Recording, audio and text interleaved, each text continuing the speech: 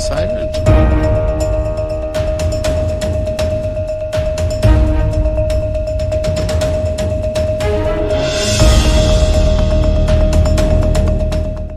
Hello everyone, a very good evening to all of you. This is your mentor Arzu Kakkar where daily we used to have this session of news analysis.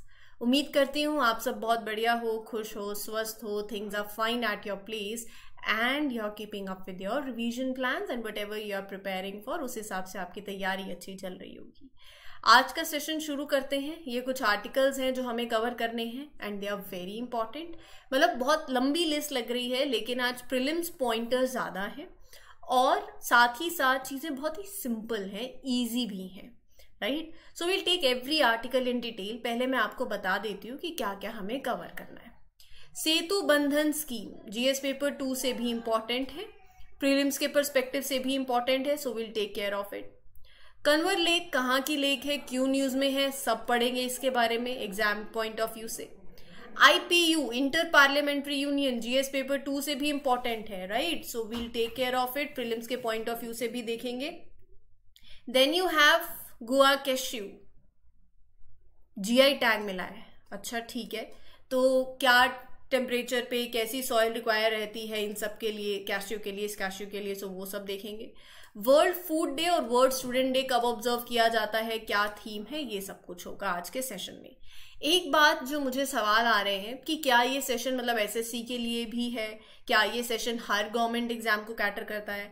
देखो, ये sessions ऐसे हैं mainly UPSC oriented है no doubt लेकिन current affair तो यही रहने वाला है। अब एक्स करंट अफेयर है, लेकिन ये यूपीएससी के लिए भी है, ये एसएससी के लिए भी है, ये आरबीआई के लिए भी है, ये रेगुलेटरी बॉडीज के लिए, ये स्टेट पीएससी के लिए है? इसका जवाब है है। अब क्यों है? देखो, आपको इन सबके पी वाई क्यूज देखने होंगे। पी वाई क्यू से आपको समझ आएगा कि जो हम टॉपिक पढ़ रहे हैं, वो हर एक एग्ज़ाम के लिए रेलिवेंट है। करंट अफेयर तो कुछ ऐसा तो है नहीं कि अलग ही करंट अफेयर होगा उस एग्ज़ाम के लिए। लेकिन ओरिएंटेशन का फ़र्क है। वो यूपीएससी एग्ज़ाम में इतने लेवल ऑफ़ डेप्थ चाहिए। करंट अफेयर को अब आप पढ़ रहे हो एक आर्टिकल तो वो इतनी डेप्थ मांग रहा है। फॉर दैट मैटर एसएससी इतनी डेप्थ मांग रहा है। आरबीआई में मोर फैक्चुअल चाहिए राइट तो स्टेट पीएससी में थोड़ा सा ईजी आ जाएगा तो इतनी लेवल ऑफ़ डेप्थ चाहिए। तो कहने का मतलब ये है it's all about level of depth और आप इस एक्सटेंड तक जा रहे हो, क्योंकि ये सेशंस यूपीएससी को ध्यान में रख के बनाए जा रहे हैं। So don't worry your every exam is being cater to आपका करंट अफेयर का डोमेन अगर है और आप किसी भी एग्ज़ाम के लिए तैयारी कर रहे हो so these sessions are best for you right I assure it अब जैसे जैसे आगे बढ़ेंगे चीज़ें और आपको क्लियर हो ही जाएँगी I think let's proceed with the first article of today's lecture अच्छा हाँ शुरू करने से पहले एक बहुत ही इंपॉर्टेंट बात। अगर सेशंस अच्छे लगते हैं तो please do like share and channel को सब्सक्राइब भी ज़रूर करो। कमेंट सेक्शन में मुझे ज़रूर बताना कि आपका क्या फीडबैक है राइट वर्ल्ड स्टूडेंट्स डे कब ऑब्ज़र्व किया जाता है, क्या थीम है इस बार की? हर साल फिफ्टींथ ऑफ़ अक्टूबर को वर्ल्ड स्टूडेंट्स डे होता है। ये सेलिब्रेट किया जाता है to mark the birth anniversary of former president of India doctor APJ Abdul Kalam ठीक है? इसलिए ऑब्ज़र्व किया जाता है। ये 2010 से मतलब we are celebrating it we are observing it and ये क्यों है? We are paying tribute to doctor Kalam contribution जो उनका है टू एडुकेशन जो उनका डेडिकेशन रहा है to nurture young mind so उसको uh, उसको ट्रिब्यूट पे करने के लिए हम फिफ्टींथ ऑफ़ अक्टूबर को वर्ल्ड स्टूडेंट डे ऑब्ज़र्व करते हैं। डॉक्टर कलाम सबको पता ही है फॉर्मर प्रेसिडेंट रह चुके हैं a great teacher and eminent scientist a great statesman he served as eleventh Indian president 2002 से 2007 तक। थीम क्या है इस बार की? Fail stands for first attempt in learning very great theme ये आप सबके लिए भी है। मतलब हम सब लर्निंग स्टेज में ही हैं। आप हर ज़िंदगी के हर, मैं बोलूँगी मतलब आप किसी भी एज पे हो, किसी भी पड़ाव पे हो we are learning every day we are learning we are students only right so fail fail का मतलब हार नहीं है। हम हार शब्द को बहुत नेगेटिव टर्म्स में ले जाते हैं, बहुत डिप्रेस्ड हो जाते हैं, बहुत टेंशन एंग्जाइटी पता नहीं एक्स वाई जेड क्या क्या चीज़ें अटैच कर लेते हैं इसके साथ। फेल फिर उसके बाद क्या है? Stand for first attempt in learning आपका पहला अटेम्प्ट है आपकी लर्निंग में। अब कहीं बोलेंगे कि क्या मतलब फ़र्स्ट अटेम्प्ट में ठीक है फेल हो गए सेकंड में नहीं होना। देखो तैयारी अच्छी होनी चाहिए। फिर आप जितना मतलब चाहे फ़र्स्ट अटेम्प्ट हो चाहे सेकंड हो चाहे थर्ड हो कोई ना कोई आप जब भी गलती कर रहे हो आप उससे सीख के ही आगे बढ़ोगे। मेक श्योर sure कि आपकी गलती रिपीट ना हो। सो so, फेल का मतलब ये नहीं है कि आप में क्षमता नहीं है। फेल का मतलब है कि आपकी लर्निंग में ये पहला अटेम्प्ट है या आपकी लर्निंग का पहला कदम है। अगर गलती नहीं करोगे तो सीखोगे नहीं। यही बोलते हैं ना बच्चा बचपन में जब आप सब भी देखा होगा हम कितना गिरते हैं। वो गिरता है फिर उठता है फिर चलता है। अगर उसको ये लगे कि मैं गिर गया हूँ मैं वापस नहीं चल पाऊँगा वो वहीं बैठ जाएगा। बच्चा चलना कैसे सीखता है? क्योंकि वो गिरता है वो गिरता है फिर उठता है वो गिरता है फिर उठता है। बचपन में ये सब किया है। वो बचपन की चीज़ें भूल गए हैं हम राइट सो बहुत अच्छी थीम है।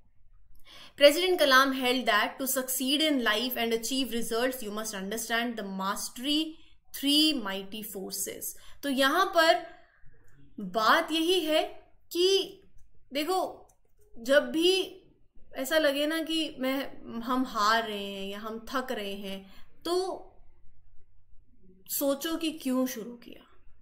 सबसे बड़ी बात। और यहाँ पर मैं आपको, चलो, आज एक होमवर्क देती हूँ। अब होमवर्क ऐसा है कि आप दो चीज़ों के बारे में पढ़ोगे आज। एक तो आप पढ़ोगे डॉक्टर कलाम के बारे में। राइट डॉक्टर कलाम के बारे में आपको पढ़ना है जहाँ पर हम मतलब आ, उनका जो मेजर कंट्रीब्यूशन रहा है जो अवार्ड्स उन्होंने रिसीव किए हैं जो उनके लिटरेरी वर्क्स हैं तो ये सारी चीज़ें आपको पढ़नी है। और इसी के साथ साथ एक और चीज़ है। अब हमने क्या कहा है? He was the he was also the president right so इसीलिए एक और होमवर्क दे देती हूँ। देखो छोटे से ही होमवर्क है ज़्यादा नहीं है ऐसा मत सोचो कि कितना होमवर्क दे दिया है।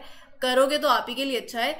प्रेसिडेंशियल इलेक्शंस कैसे होते हैं? प्रेसिडेंट इलेक्शंस तो ये आपका ना, आपके लक्ष्मीकांत में भी आपको मिल जाएगा राइट right? तो ये दो आपके छोटे से होमवर्क है, एक प्रेसिडेंट इलेक्शंस कैसे होते हैं, वो पढ़ना है आपको, और दूसरा आपको डॉक्टर एपीजे अब्दुल कलाम के कुछ कॉन्ट्रीब्यूशन जो हैं, वो आपको पता होने चाहिए right so now moving on to the next article of today's lecture that is world food day अब वर्ल्ड फ़ूड डे सबको ही पता है, किस लिए है? It is basically to emphasize the attainment of zero hunger zero hunger is sustainable development goal sdg 17 सारे के सारे याद करने हैं अगर याद हो गए यही आपका सिलेबस है right so make sure that you cover it a world food day is celebrated to commemorate the establishment of fao united nations food and agricultural organization कब 16th of October 1945 इस दिन का रोल क्या है? किस पे ज़ोर डालता है? किस पे एम्फोसिस है? It is on the furtherance of food security all over the world theme क्या है? Water is life water is food leave no one behind sustainable development goals आपको याद करने हैं सारे, जिन्होंने कर लिए हैं। बहुत बढ़िया, मैंने बहुत बार होमवर्क दिया हुआ है। अच्छा मैंने ना कुछ दिन पहले आपको ग्लोबल हंगर इंडेक्स कवर करवाया अगर याद हो तो आपको उसको रिवाइज करना है। इससे आपकी रिवीजन हो जाएगी। वर्ल्ड फ़ूड डे हो गया। ग्लोबल हंगर इंडेक्स को please make sure that you cover it अगर आप ये लोग ये बोलो कि कहाँ से कवर करना है, देखो we have covered so make sure आप उसको रिवाइज कर लें। बस इतना ही करना है और कुछ नहीं करना। मतलब अगर आपको याद हो तो मैंने आपको इंडिया का स्कोर बताया था twenty eight point three right global hunger index is prepared by European NGO concern worldwide and Welthungerhilfe पहली बार कब पब्लिश हुआ था? 2006 में। इसमें क्या क्या पैरामीटर्स होते हैं जब आप ग्लोबल हंगर इंडेक्स को कैलकुलेट करते हो? Undernourishment child wasting child stunting child mortality ये सारी बातें कवर करी हुई हैं? कुछ याद आ रहा है? टॉप फाइव कंट्रीज़ कौन सी हैं? Belarus Bosnia China bottom five countries कौन सी हैं? कमेंट सेक्शन में बताओगे। इंडिया के नेबर्स की रैंक ये सब पता होना चाहिए इंडिया की रैंक राइट? चाइल्ड वेस्टिंग में इंडिया का स्टेटस 18.7 परसेंट है। That is highest in the world और इंडिया कह रहा है कि ये थोड़ी बाइज रिपोर्ट है। श्रीलंका की रैंक सिक्सटी है। नेपाल की सिक्सटी इंडिया की रैंक क्या है? टोटल कितनी कंट्रीज़ होती हैं? 125 कितनी रैंक मिली इंडिया को, ये आप बताओगे कमेंट सेक्शन में मैंने। इस हिसाब से वापस से वर्ल्ड हंगर इंडेक्स जो है, ये ग्लोबल हंगर इंडेक्स ये रिवाइज करवा दिया है। But you make sure that you cover it by yourself once again right देखो, ये चीज़ें बहुत इंपॉर्टेंट है। ऐसे ही साथ साथ रिवाइज करते चलोगे तो आप ही के लिए अच्छा होगा। ठीक है? चलते हैं अगले आर्टिकल के ऊपर that is regarding Goa cashew kernel got G I tag where recognition is hailed as a great opportunity for the cashew industry in the state as a milestone towards Swaympurna Goa mission. Goa cashew. देखो cashew was native to northeast Brazil in Latin America और Goa cashew was introduced to Goa by Portuguese. कब 16 century में जब वो आए 1570 में तो उनके द्वारा काजू पसंद है किसी को बताना जरा कमेंट सेक्शन में तो यहाँ पर उनके द्वारा इसकी उन्होंने इंट्रोड्यूस करवाया। सो इनिशियली यूज़ फॉर पहले तो ये ए फॉरेस्ट्रेशन के लिए और सॉइल कंजर्वेशन के लिए यूज़ किया जाता था। मतलब ये जो ट्रीज हैं they were planted for things like मतलब growing more trees taking care of land इस तरीके से उगाए जाते थे। बट बाद में पीपल लेटर डिस्कवर्ड कि cashew nuts which grow on these trees इनके बहुत ज़्यादा इकोनॉमिक वैल्यू है। वहाँ से आप समझ रहे हो इकोनॉमिक ग्रोथ हुई। So cashew production started small, but it grew significantly and became a major part of Goa's economy. So people wanted cashews, especially in US. So it became an essential product, contributing to Goa's income and livelihood. So it is a major contribute contributor to Goa's economy. Cashew production grew from a cottage industry to a major contributor, mainly due to its demand in US बहुत important बात है। अब आप अब काजू खाओगे ना तो कनेक्ट कर पाओगे। ठीक है? कैश्यू के बारे में थोड़ा सा और पढ़ते हैं। It is one of the most important plantation crop in India right so ये कुछ बातें हैं। ये थोड़ा सा ध्यान रख लोगे तो काम आएँगे। It play a very crucial role in bringing money from other countries right in Goa it's a major crop covering a large area among all the horticulture crops right so soil and climate की बात करूँ तो एक well drain deep sandy loam soil are best for growing cashews heavy clay soil suitable नहीं है। क्योंकि cashews does not withstand water logging तो ये भी आपको याद में रखना है स्टेटमेंट बेस्ड क्वेश्चन प्रीलिम्स में बन सकता है। In general all soils from sandy to laterite are well suited for this crop तो ये आपको ये टर्म्स ध्यान में रखनी है स्टेटमेंट ध्यान में रखनी है, कैसा सॉइल कैसी क्लाइमेट कैसा रेनफॉल देखो रिकैश्यू के लिए is very well adopted to Indian coastal areas जहाँ पर ह्यूमिडिटी की रेंज हो 60 टू 95 परसेंट और एनुअल प्रेसिपिटेशन जो है वो 2000 टू 3500 mm के आसपास की हो। तो ये बेसिकली आपको कुछ चीज़ें हैं, जैसे हॉट ह्यूमिड कंडीशंस चाहिए रहती हैं टेम्परेचर 20 टू 38 डिग्री सेल्सियस चलेगा और एक्सट्रीम लो टेम्परेचर और फ्रॉस्ट बिल्कुल भी कैशू प्लांटेशन के लिए सुटेबल नहीं है।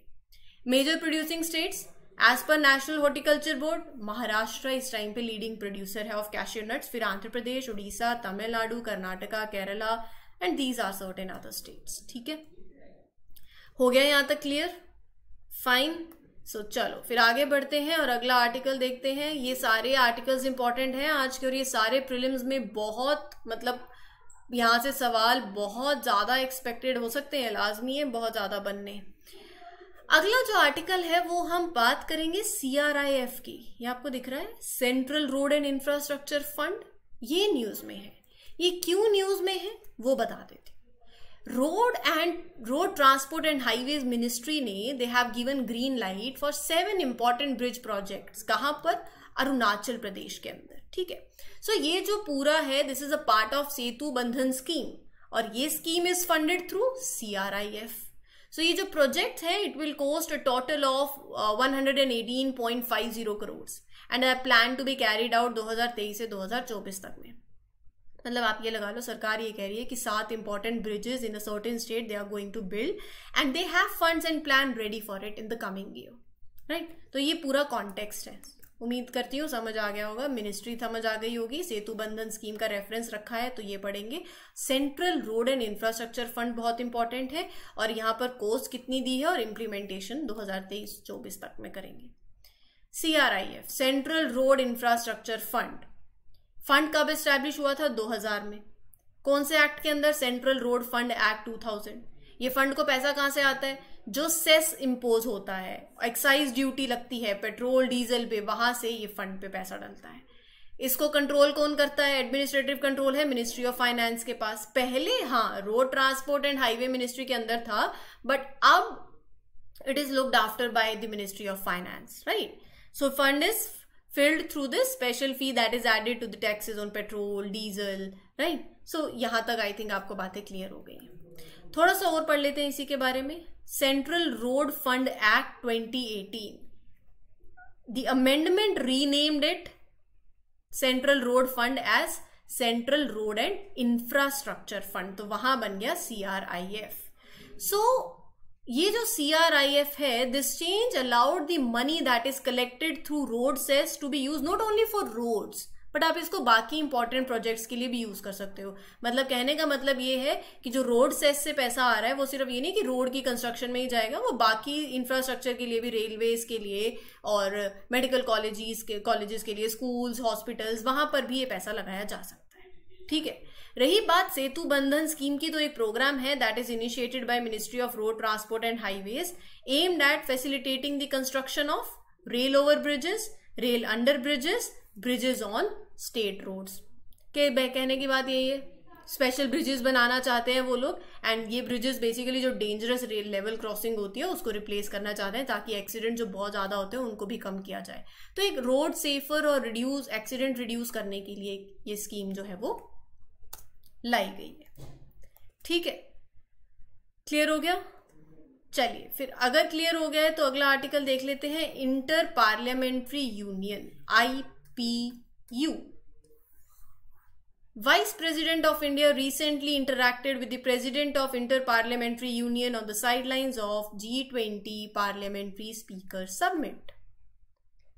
IPU के बारे में पढ़ेंगे अब कैसी ऑर्गेनाइजेशन है कब एस्टैब्लिश हुई राइट सो so, इसका स्लोगन क्या है आज के टाइम पे इसमें कितने मेंबर्स हैं और भी बहुत सी बातें हैं ध्यान से सुनना Let's begin.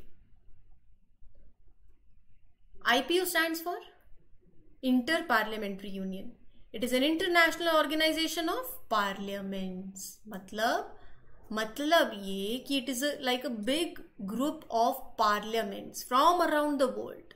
1889 में it was created. कहाँ पर पेरिस में किस लिए to support and encourage a way of governing that is called representative democracy to promote it to promote peace globally तो क्या होता है यहां पर IPU what does IPU do IPU helps the parliaments and their members मतलब parliamentarians to work together diplomatically so they aim to bring peace democracy and sustainable development to the world simple words may they want to make the world a better place through cooperation and understanding between the countries बात आई समझ में।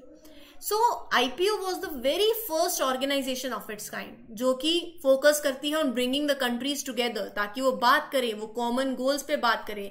There should be dialogue between all the nation so it is a first multilateral political organization slogan क्या है? For democracy for everyone आज IPU में कितने member parliaments हैं? 179 वेरी इंपॉर्टेंट यूपीएससी सवाल पूछ सकते हैं। थर्टीन एसोसिएट मेंबर्स हैं।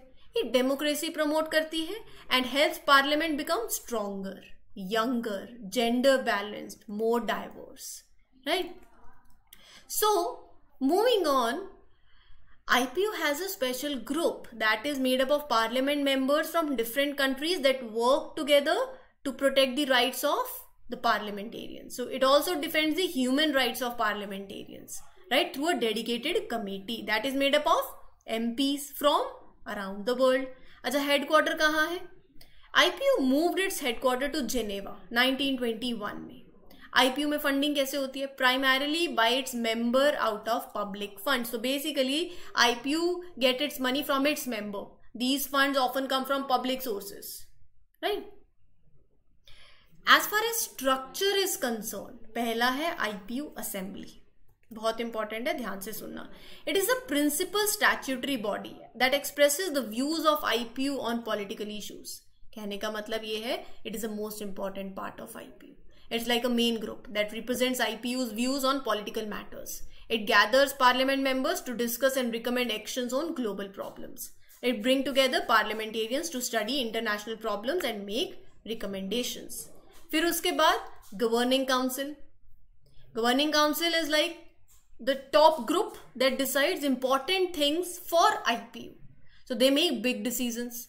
इसमें कौन होता है there are three representatives from each country that is a member of IPU. So every country has a say, right?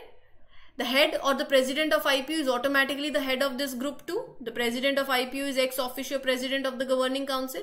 It is composed of three representatives from each member parliament, right? Then क्या करती है the council plans what IPU will do in a year, how much money they need. Sometimes they also talk about and agree on some important topics, make official statements about them. Under this council, there are certain smaller groups. Matlab you can say number of committees and working groups are subordinate to it. And they report to the council on their work.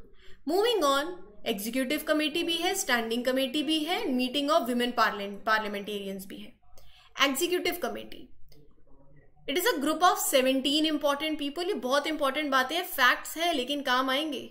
जो manage करते हैं and advice करते हैं on how IPU will work right the fifteen members of the executive committee are elected by the council for a four year term president of IPU के ex officio member है या president है of the committee yes standing committee तीन standing committees होती है IPU set करती है IPU governing council to assist the assembly in its work एक सेपरेट ऑर्गन है of the IPU that is meeting of women parliamentarians जो कि which meets on the occasion of first round of statutory meeting of IPU basically it gathers during particular IPU meetings right both male female parliament members can attend they talk about important topics at are related to IPU task ठीक है?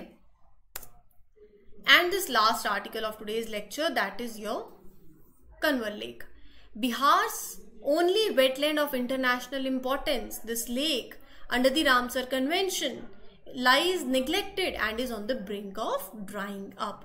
अच्छा एक चीज़ है आपको ना इसको map में ज़रूर देखना है बहुत इंपॉर्टेंट है it is Asia's largest fresh water oxbow lake and Bihar only Ramsar site okay इसको कबरतर झील भी बोला जाता है आप इसको जिस भी तरीके से प्रोनाउंस करें बट मेरा मतलब यही है कि आपको ये चीज़ें समझ आनी चाहिए। अच्छा यूपीएससी पूछी क्या ये फ्रेश वाटर लेक है? ब्रैकिश वाटर है? Fresh water lake in Asia yes and the only Ramsar site in Bihar yes बहुत इंपॉर्टेंट है ये सारी बातें। फिर नदी पूछेगी so oxbow lake correct it is oxbow lake form due to the of Gandak river जो कि गंगा की ट्रिब्यूटरी है। It cover the majority of Indo Gangetic plains wetland is an important stop over along the central Asian flyway flyway fifty जैसे हमने पढ़ा ना अभी Amor falcons उधर से आते हैं। लेकिन कहने का मतलब ये है कि जैसे जो माइग्रेटरी बर्ड्स होते हैं, उनके लिए कुछ स्टॉप होते हैं ना तो उसमें कन्वर लेक भी एक है। It is also valuable site for fish biodiversity right five critically endangered species आपको यहाँ पर देखने को मिलेंगे। Three vultures two water birds तो ये याद में रखना, अभी हम मैंने कुछ दिन पहले ही वल्चर्स के बारे में पढ़ाया था। बहुत कुछ। थ्रेट्स क्या है? वाटर मैनेजमेंट एक्टिविटी जैसे ड्रेनेज हो गया वाटर एब्स्ट्रैक्शन डैमिंग कैनलाइजेशन तो ये सारी चीज़ें थोड़ा सा थ्रेट हो जाती हैं। ठीक है? अब एक रामसर कन्वेंशन के बारे में भी पढ़ लेते हैं। Ramsar convention was signed on second of February 1971 किस लिए? To preserve the ecological characters of the wetlands of international importance at present India में 75 रामसर साइट्स हैं। ये रामसर टर्म कहाँ से आता है? ईरानियन सिटी है रामसर, जहाँ पर ये ट्रीटी साइन हुई थी, वहाँ से राइट फिर जो टैग दिया जाता है, जिस प्लेस को चूजन फॉर कंजर्वेशन वो एक रामसर साइट बन जाती है। ठीक है जी? तो उम्मीद कर रही हूँ ये सारी बातें क्लियर हो गई होंगी, चीज़ें अच्छी लगी होंगी, याद हो गई होंगी और रिवीजन अच्छे से कर रहे हो। जितना रिवाइज करोगे, उतना इसको रिकॉल कर पाओगे बार बार so make sure that you revise you learn and कोई भी डाउट हो you can ask me in the comment section आज के सेशन के लिए इतना ही। अच्छा हाँ मंडे टू सैटरडे जो भी हम कवर करते हैं, उसको प्लीज़ रिवाइज करते रहा करो। ये बहुत ज़्यादा इंपॉर्टेंट है। नहीं तो भूलते जाओगे चीज़ों को। और फिर एक फिफ्टीन डे रिवीजन भी किया करो। मैंने बोला है, किसी को कोई भी डाउट हो कि how to revise you can ask me in the comment section आज के सेशन के लिए इतना ही। This is your mentor Arzoo Kakkar signing off today happy learning every all the best take care thank you